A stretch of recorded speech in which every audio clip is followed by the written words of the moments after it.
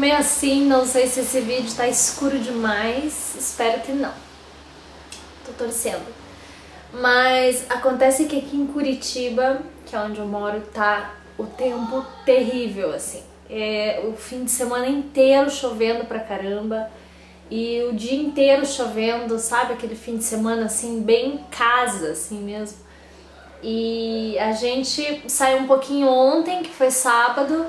É, comprei umas coisas do aniversário da Elisa que eu precisava, fui no mercado, mas hoje assim a gente tá super de molho em casa. É, vai ser o fim de semana de carnaval super tranquilo, super família. E e estamos, sei lá, estamos fazendo coisas em casa. Hoje a gente fez um empadão gostoso, vamos, vamos ter empadão para jantar, um empadão de frango. Super bom que eu sempre faço. Essa gritaria que não sei se vocês estão ouvindo uma gritaria, mas é são os meus filhos no videogame. Eu agora, até agora há pouco estava jogando Mario Kart com eles. Super divertido. E enfim, a gente tá super assim. É... aproveitando o carnaval em casa, em família. Bem zen, assim e deu tempo de fazer umas limpezas tal na casa, até agilizei algumas coisas do aniversário da Elisa também, depois vai ter mais vídeo pra vocês do um update do aniversário dela. Esse vídeo, na verdade, eu, eu quis fazer pelo seguinte, uma... eu tava, tava ali nos grupos do Facebook, eu tenho alguns grupos que eu sigo e tal, e uma mãe e me chamou a atenção um post de uma mãe que tava super triste porque parece que sexta-feira muitas crianças foram pro colégio de, de, de, de, fantasia, né? E como ainda tá na vibe do Halloween, eu resolvi ainda assim fazer. É, as mães, ela, ela ficou muito triste porque parece que ela comprou uma asa, tipo, é, ela não tava com dinheiro para comprar fantasia e realmente as fantasias aqui são muito caras, acho muito absurdo. E, e, ela não tava com dinheiro de comprar. Aliás, eu, eu, eu até recomendo para as mães sempre comprar fantasia fora da época, assim. Ou, por exemplo, quando o carnaval já passou, compra, veja como é que fica a questão das fantasias, porque geralmente abaixa muito. E é, por exemplo, de você pensar no Halloween, por exemplo, se é se os teus filhos às vezes do colégio ou, ou gostam de fazer alguma coisa desse tipo pro Halloween, é interessante comprar agora no fim do carnaval que terminou o carnaval as fantasias vão o preço vai muito para baixo.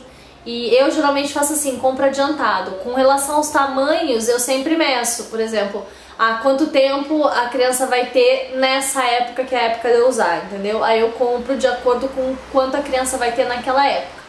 E sempre deu certo porque as fantasias na verdade em todos os lugares que a gente morou até hoje sempre foram caras nunca foi barato.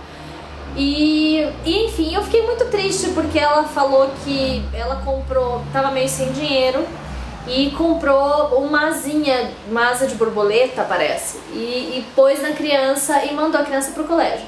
Só que quando ela entregou a criança no colégio, ela disse que se sentiu muito mal porque todas as crianças estavam muito bem vestidas, assim.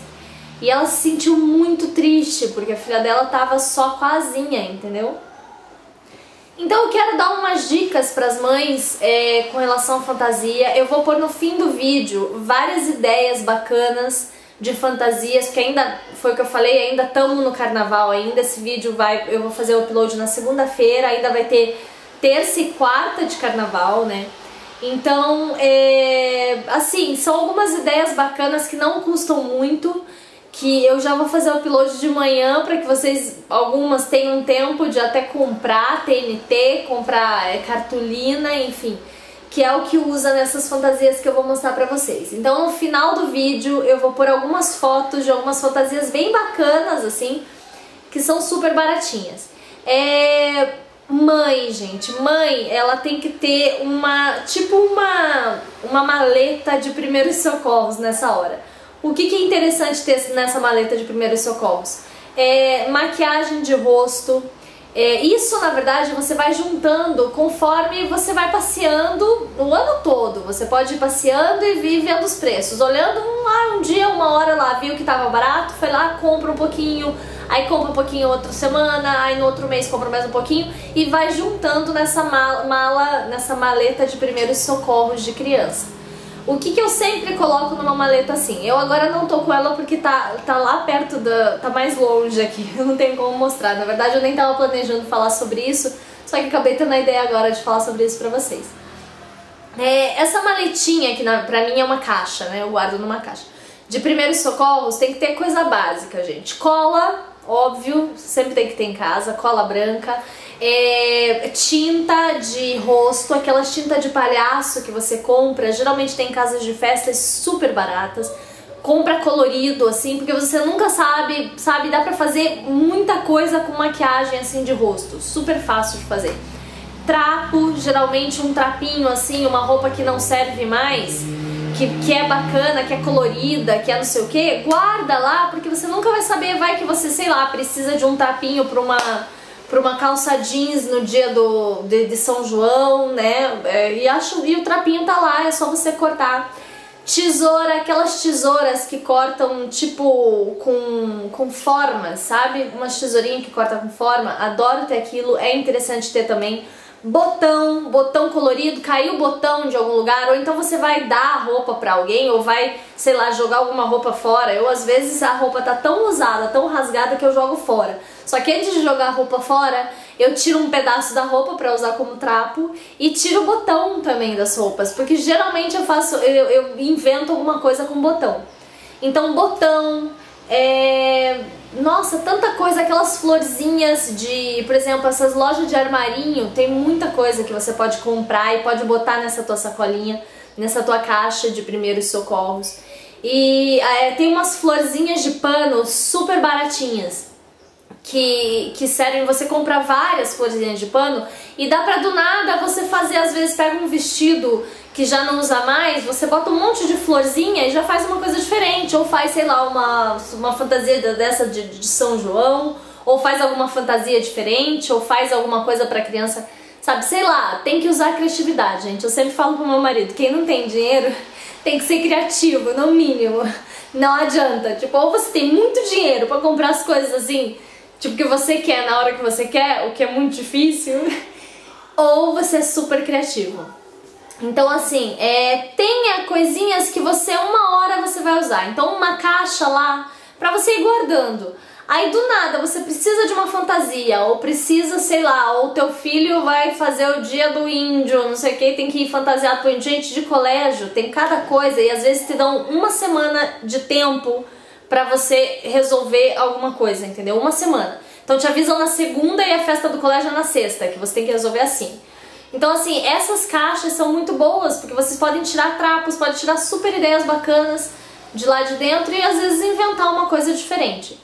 É...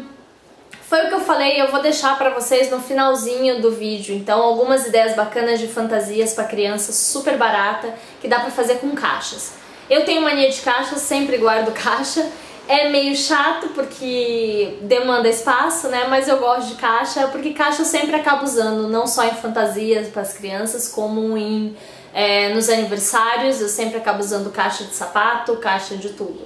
E na decoração dos aniversários. Então, caixa também eu recomendo se você tem um lugar. É interessante, você vai ver que várias fantasias dessa que eu vou pôr no finalzinho para vocês verem como ideias é, são feitas com caixas, com papelão, né? e, e algodão e essas coisas. Então, assim, é bacana sempre ter, tipo, alguma coisa na mão. É, foi o que eu falei, pintura de, de rosto é super interessante ter. Por exemplo, essa menininha pode não, não ter ido só, podia não ter ido só com a, com a asinha, ela podia ter feito uma coisa bacana no rosto, com, com colado algum glitter aqui em volta, alguma purpurina, uma lantejola, ou sei lá, e ter feito um negócio bacana no rosto, sabe, pra combinar ter posto às vezes um TNT, gente, na roupa, já faz tipo uma borboleta inteira. Entendeu? Pega, põe uma roupinha na criança e põe TNT cor-de-rosa, lilás e tal, e a asa e mais um, né? Ou já fica mal bacana. Põe uns glitterzinhos, gel de glitter na, no, no cabelo, pronto, já fez uma fada borboletada, entendeu? Então, assim, tem que ter muita criatividade, gente. É... Quando a gente não tem dinheiro. Eu, graças a Deus, tenho bastante criatividade, porque dinheiro...